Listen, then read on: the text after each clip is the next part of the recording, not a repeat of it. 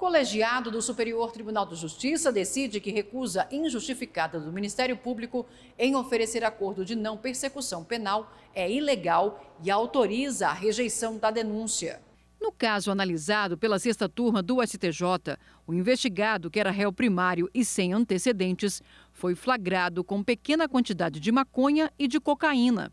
No julgamento, o colegiado estabeleceu que o Ministério Público não pode deixar de oferecer o acordo de não persecução penal, conhecido como ANPP, de forma injustificada ou ilegalmente motivada, sob pena de rejeição da denúncia. O Ministério Público não ofereceu o acordo por entender que o tráfico de drogas é crime hediondo, o que levou a defesa a pedir a remessa dos autos para a Procuradoria-Geral de Justiça, sob o argumento de que as circunstâncias do caso evidenciavam que o réu teria direito à minorante do tráfico privilegiado. A remessa dos autos foi negada na primeira instância, mas ao final da audiência, em alegações finais, o próprio MP pediu a aplicação da causa de diminuição de pena, o que foi acolhido na sentença sem recurso ministerial. Ao votar pelo provimento do recurso da defesa no STJ, o ministro relator Rogério Schietti Cruz ressaltou que a oferta do acordo de não persecução penal